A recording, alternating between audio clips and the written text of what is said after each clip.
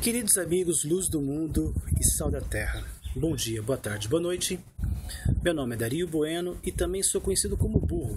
Fui vereador em Jacareí, cidade do interior do estado de São Paulo. Como a gente sempre começa nossas conversas, bem-aventurado o povo cujo Deus é o Senhor. Salmo 144. Essa semana é uma semana bastante intensa, né? 25 anos da comemoração da derrubada do Muro de Berlim, né? Eu fico contente porque o Brasil subsidiou parte dessa festa, né? É, criando o evento da Copa do Mundo, né? dando o título para a Alemanha de 7 a 1, sem tirar o mérito dos alemães, mas eles são super competentes, super organizados, a gente tem muito que aprender com eles em todos os sentidos, né? São mentes dedicadas à ciência, à arte, à tecnologia. Então, esse, no esporte também eles mostram a competência que eles têm e tiveram em todas as áreas em que eles se dedicaram, né? Mas é, é que eu estou convencido de que a Copa do Mundo ela é um evento é, atrelado aos fatos políticos, né? uma vez que a FIFA depende dos governos para dar estrutura para que os eventos sejam realizados. E então, esse lado lúdico, festivo, né, que todo o povo merece, né, ele acaba sendo né, é, é, fator histórico da, do, dos povos, acaba pertencendo à agenda né, da, da FIFA também. Né? E aí eu fico feliz, né? Fico feliz porque é o mesmo povo dividido, né? Isso aí é uma, é uma lição da história né, que a gente não pode permitir que isso aconteça de novo. E no Brasil, né, toda eleição né, surge essa história de é, do Sul separado do Nordeste e do Norte, por causa das preferências eleitorais. Bom, as desigualdades regionais são muito grandes. É claro que a prioridade de um eleitor de uma região é diferente da, do eleitor da outra. Né? E assim, e o, e o candidato que fizer um discurso que vai uh, talvez iludir ou talvez corresponder às necessidades daquele eleitorado, é claro que ele vai ter a preferência. Né? A eleição ela é um jogo, né? E que cada promessa da eleição seja um compromisso, né? A ser concretizado durante o mandato, né? É, esses são os votos que eu faço para a candidata vencedora. Né? Então, é, então a gente precisa, né?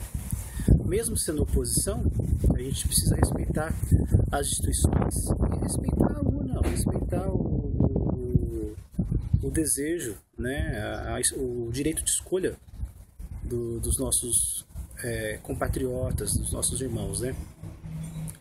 Então, assim, uh, eu sou do Democratas, eu fui vereador aqui em Jacareí pelo Democratas, né? Não tenho, assim, problema nenhum, nenhum rancor de ter sido derrotado nas urnas, né? Que as urnas possam ensinar a todos, né, da oposição, principalmente da direita, né, como se organizar para poder ter vitória nas próximas eleições, né? E essa questão de próximas eleições, uh, daqui a dois anos já é a próxima eleição. É, no Brasil, nós temos é, o que eu acho benéfico, essa divisão das eleições municipais, em que você pode é, contribuir com as suas escolhas e seus critérios para uma realidade mais imediata, mais local, que é o município, e depois disso você articular forças para uma eleição é, mais ampla, né, que é dos estados e da União. Então, assim, uh, eu estou deixando minha barba e o cabelo crescer, né, por conta da República, Né? A República no Brasil cometeu um erro né, muito grande, um crime, é, justamente por causa do distanciamento do próprio governo, do seu povo, né? a Guerra de Canudos, que foi brilhantemente é, documentada por Euclides da Cunha, né? é, nos dá isso. Então, essa barba e cabelo crescer é memória de Antônio Conselheiro. Estou deixando essa barba crescer, o cabelo crescer desde os primeiros jogos da Copa do Mundo. Né? E por quê? Porque protestar é um direito né, de todos. E eu, minha maneira de protestar é trazer o, as pessoas a memória desses episódios e estimular as pessoas a procurar informações sobre a história né, do Brasil para que a gente reconsidere nossos passos, a gente reconsidere várias coisas, né? Porque nós somos frutos das nossas narrativas, né? né? Não só das escolhas, mas das nossas narrativas também, né? Então, é assim que a gente é, fortalece né, a sociedade, contribuindo, né? Vários indivíduos. E aí, embora exista tantas controvérsias, né? É, um tecido vai é, sendo urdido com, com, esse, com esses debates, com essas exposições. Né? Ah, então, o que a gente tem que fazer é aprender com as eleições. E esse ano foi um ano que eu vejo que trouxe informações relevantes. Né? Ah, o PSDB, Partido da Social Democracia, né, totalmente é, declarando que é um partido de esquerda, né? um partido que se beneficiou da aliança do Democratas né, na presidência de Fernando Henrique Cardoso. Né? O Democratas se acomodou a ficar à sombra do PSDB. Né? Esse ano, que é o ano de 50 anos da intervenção militar de 64, Democratas, que foi um partido que foi é, sustentação do governo do, é, militar durante todo o tempo, né, não, não poderia se omitir esse ano.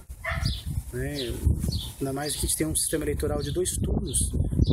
Deveria fazer né, essa menção histórica ao governo militar, à origem do partido, né, até a sua tem a sua história mais anterior, que, é de, que era de oposição ao governo de Getúlio Vargas. Né? Então, assim, a gente precisa é, rememorar isso, né? E essa é a função dos partidos, né? Então, eu queria dizer para vocês o seguinte: nós temos o direito de protestar e parece que a mídia vem incentivando isso desde o ano passado, né? E só que existe uma ilusão, não existe protesto pacífico. Você pode ter um protesto bem comportado, mas pacífico não, existe. Por quê? Ah, porque quando você está protestando, quando você está contestando, você certamente está é, ameaçando os interesses de, de quem está se beneficiando com, com o sistema que está aqui, né, vigente, né?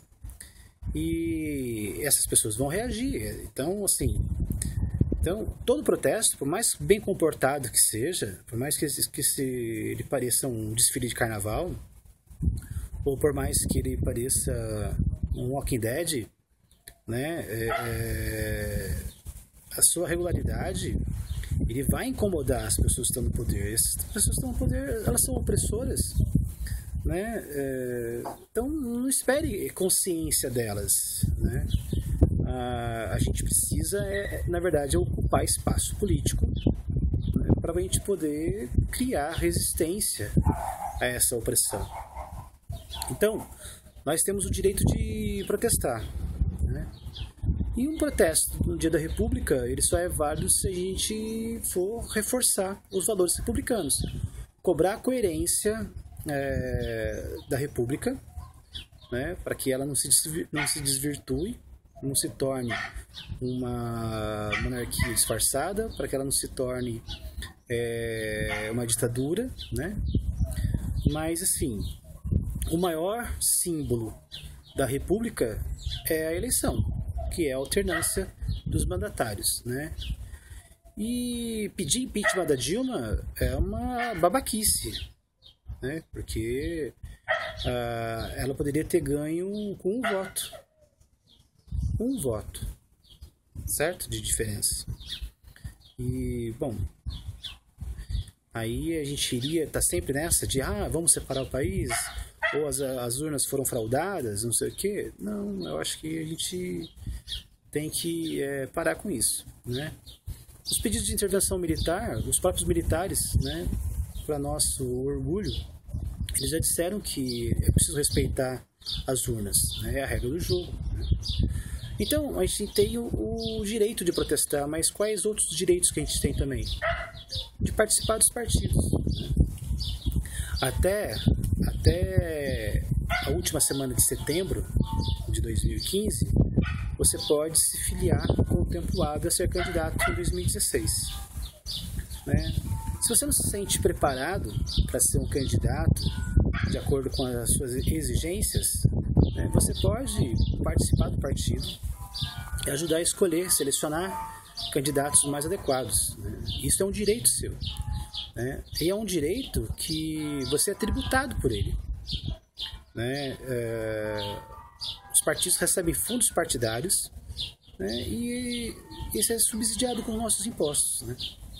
Então é um direito você participar dos partidos. Você que é da direita, você tem poucas opções. Né? A gente vê aí é, os partidos que são diretamente remanescentes da, da Arena, é o PP do Maluf e o Democratas, né, que foi o PFL. Né? Então, assim, embora sejam duas expressões de direita, o Democratas permaneceu na oposição e o partido do Maluf está na base do governo do PT desde que o governo do PT foi eleito. Né? Então você também precisa é, compreender qual é o comportamento, né? porque o partido é de direita que ele é um partido coerente, né? O Democratas é um partido que foi esvaziado depois da debandada do golpe, né, do, do Kassab, né? O Kassab como presidente estadual do Democratas, ele fez o partido trabalhar para eleger os, os candidatos dos Democratas em 2010 e logo no começo de 2011, né, ele anuncia a criação do novo partido e retira né, os, os membros do Congresso, né, governantes e das assembleias estaduais, vereadores, prefeitos que foram eleitos pelos democratas. Né? Então a gente também precisa saber quem são os nossos traidores. Então, olha, a gente precisa. O Democratas é uma grande opção para quem é de direita. Né? O PSDB ele nos deixou órfão, né? E é um erro estratégico a gente se acomodar e ficar na sombra do PSDB. Eu sei que as pessoas que pedem intervenção militar, elas não têm saudade da ditadura. É que o exército, ele é a única, o exército, as forças armadas são as únicas instituições é, consolidadas no Brasil. Né? O que a gente falta, é, que a gente sente falta né, é, de instituições sólidas e as Forças Armadas representam isso. Né? Ah, ah, o que a gente tem é uma crise de representatividade e porque, porque os dirigentes partidários são irresponsáveis, né? não criaram é, partidos com, com qualidade para nos atender. Né? E o espectro da direita é um espectro que está né, esvaziado, está sem representantes e está com as suas instituições fragilizadas. É por isso que a gente precisa desenvolver né, o nosso gesto de da insatisfação pelo protesto. Sim, né? bem comportado, que seja, isso é um direito. Mas participar dos partidos, é, exigir que os partidos é, organizem diretórios, né? Isso também é um, outro, é um outro direito. E é um direito que é subsidiado com os nossos impostos. Cara, esse cara é para todos vocês.